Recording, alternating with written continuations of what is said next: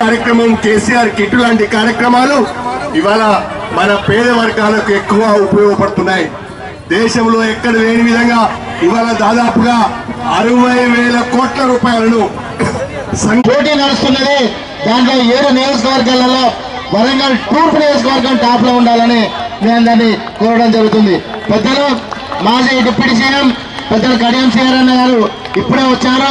వారికి స్వాగతం సుస్వాగతం. వరంగల్ తూర్పు నియోజకవర్గం తరఫున వారికి ప్రత్యేక కృతజ్ఞతలు తెలుపుకుంటూ ఏది ఏమైనా కానీ కారు గుర్తుకు ఓటేసి అఖండ మెజార్టీతో గెలిపేయాలని మిమ్మల్ని అందరినీ కూడా విజ్ఞప్తి చేస్తున్నాను. జై తెలంగాణ!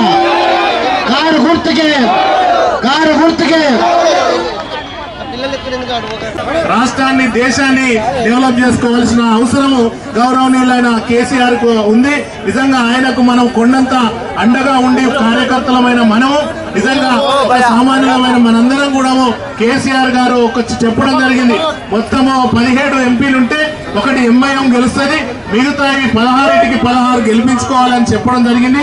అదే అన్ని దిక్కులు కూడా మన గౌరవం గౌరవనీయులైన ఎమ్మెల్యేలు మరి నిజంగా పని కట్టుకొని చాలా ఇంత ఎండలైనా లెక్క చేయకుండా మరి గౌరవనీయులైన మన ఎమ్మెల్యే నన్నబ్లేడ్ నరేందర్ గారు గెలుపు కోసం కానీ మరి పార్టీలో ఎంతో కీలకంగా మరి వర్క్ చేసుకుంటూ ఈ మధ్య కాలంలోనే ఎన్నో బహిరంగ సభలు మూడు బహిరంగ సభలు అయితే మూడింటికి మూడు వరంగల్లో పెట్టి మంచి సక్సెస్ చేసిన నాయకుడు మన నన్నపనేని నరేందర్ గారు.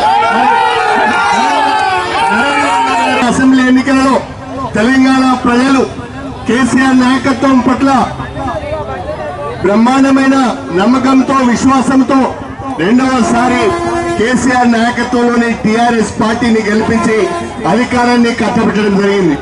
ఆ ఎన్నికల్లో మన వరంగల్ తూర్పు నియోజకవర్గం నుంచి సోదరుడు నల్లపేట నరేందర్ గారికి అవకాశం ఇస్తే మీరు నిండు మనసుతో ఆశీర్వదించి బ్రహ్మాండమైన మెజారిటీతో నన్నపనేని నరేందర్ గారిని ఎమ్మెల్యే గెలిపించడం జరిగింది. ఇప్పుడు మళ్ళీ ఎంపీ ఎన్నికలు వచ్చినాయి.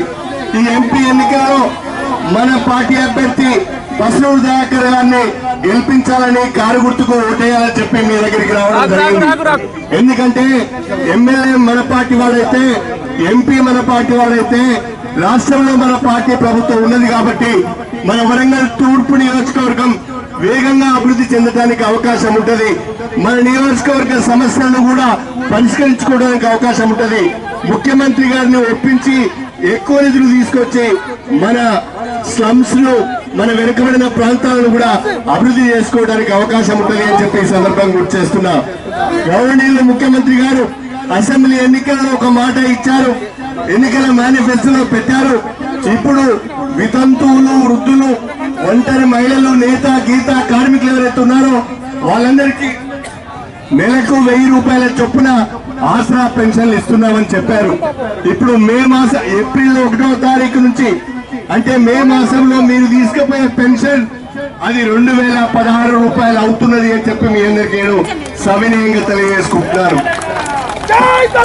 వెయ్యి రూపాయల ఆసరా పెన్షన్ను రెండు వేల రూపాయలు చేసుకున్నాం.